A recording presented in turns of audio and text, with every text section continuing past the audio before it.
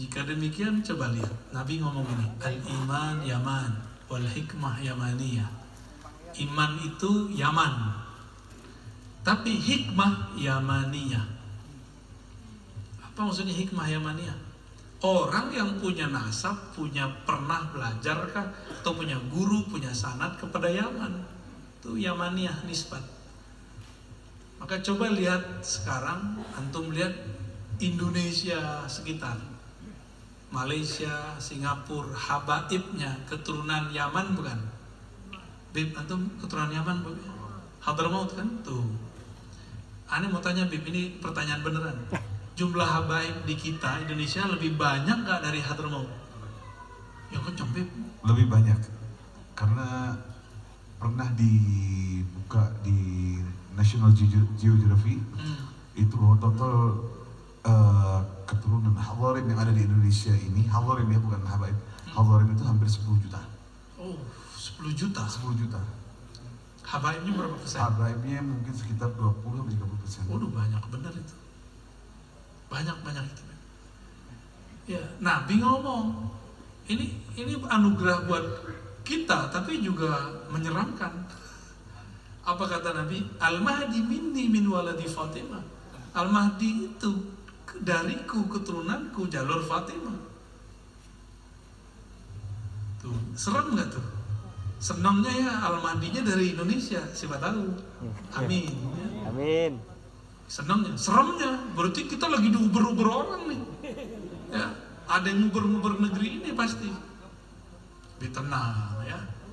Mereka mau makar, Allah lebih kuat makarnya. Tenang aja Pak. Ya. Pak Randy ya. Kalau kawan kita nggak percaya, nggak apa-apa. Saudara kita, "Hmm, jangankan itu. Temen saya, ustadz, ustazah aja nggak percaya.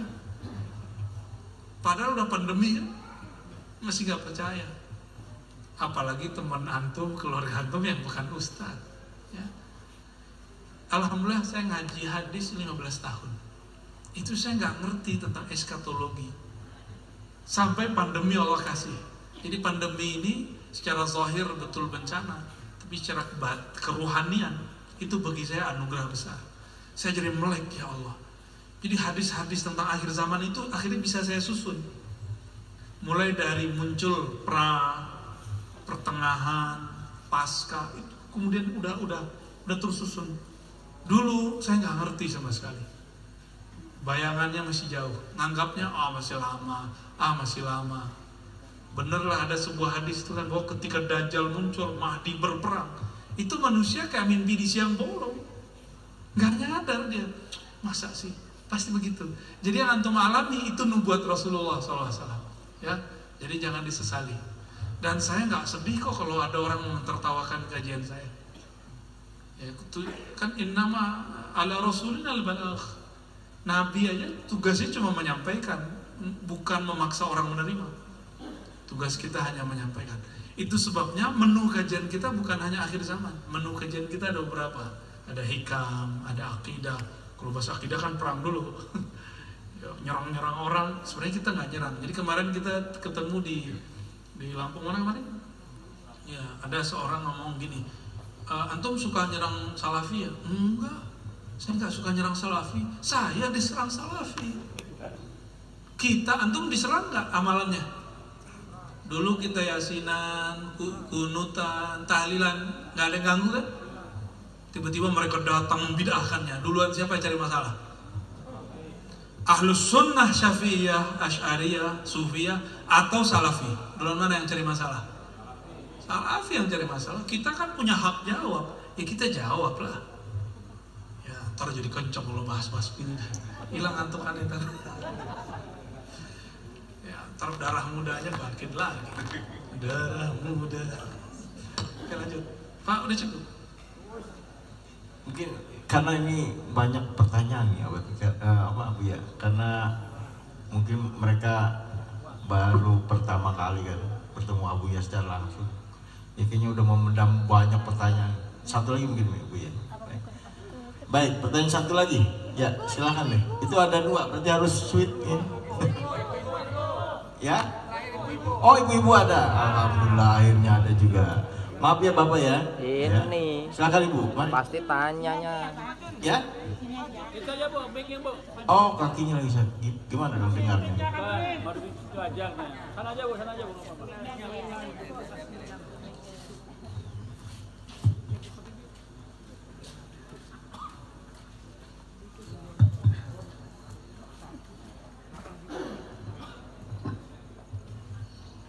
nggak apa-apa. Assalamualaikum warahmatullahi wabarakatuh. Waalaikumsalam. Salam kenal Pak Ustadz. Nama saya Ibu Rabi. Saya juga pencinta Pak Ustadz ini di YouTube. Hampir setiap hari kita dengarin ya Pak Ustadz. Yang ingin saya tanyakan, bagaimana cara kita untuk membersihkan kolbu agar kita tidak terhijab kepada yang di atas. Itu aja. Terima kasih.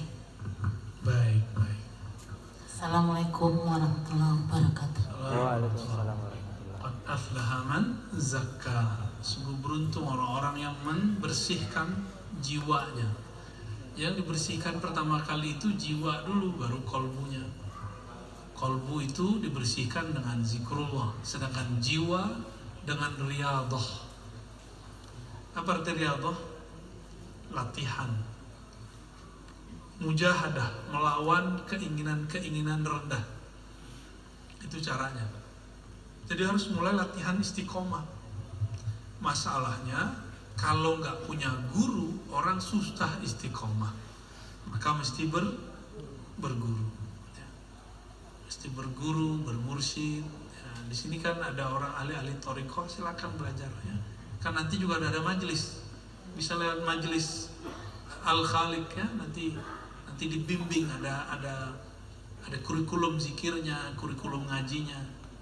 Silakan nantinya di, di ini. Di sini para apa namanya teman-teman di pusat itu nggak ada yang mencari kemursidan, malah menghindar jadi mursid.